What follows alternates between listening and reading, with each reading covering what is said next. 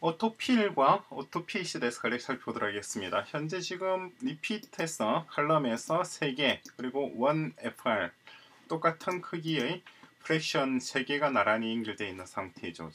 여기다 만약에 어, 3 대신에 다른 걸 좀 넣어보겠습니다. auto fill 해서 auto fill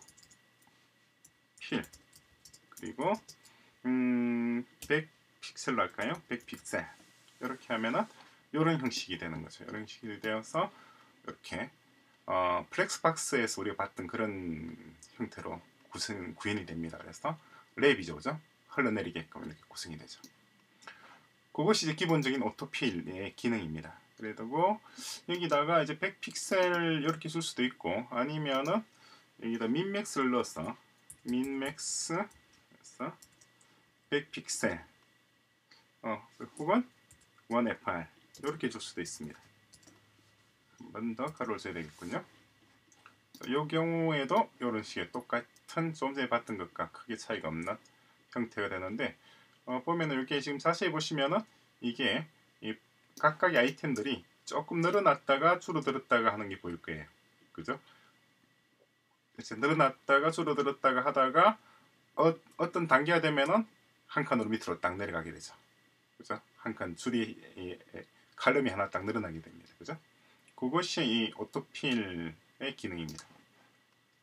조금 전에 봤던 것하고 약간 다르죠. 그죠? 오토필에서 민맥스를 줬을 경우 그런 이런 효과를 볼 수가 있습니다. 만약에 민맥스 없이 조금 전에 모습만 그러니까 100픽셀만 줬을 경우 그때는 그런 거 없이 그냥 늘어나면은 지금 박스 가까이 크기가 변함이 전혀 없습니다.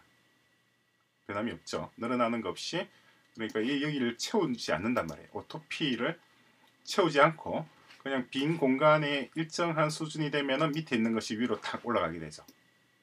그죠?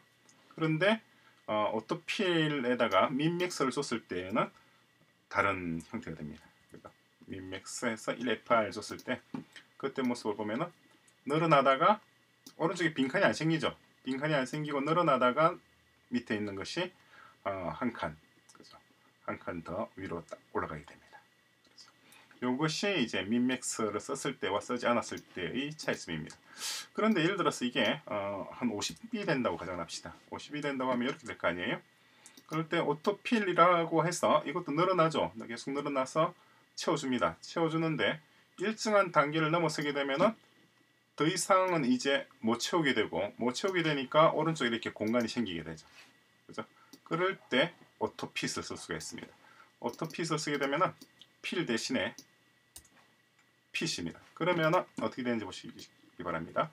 늘어나죠. 여기까지 다 똑같습니다. auto fill하고 같습니다. 근데 늘어나면은 늘어나도 계속해서 공간을 채우고 있죠. 그게 오토핏입니다.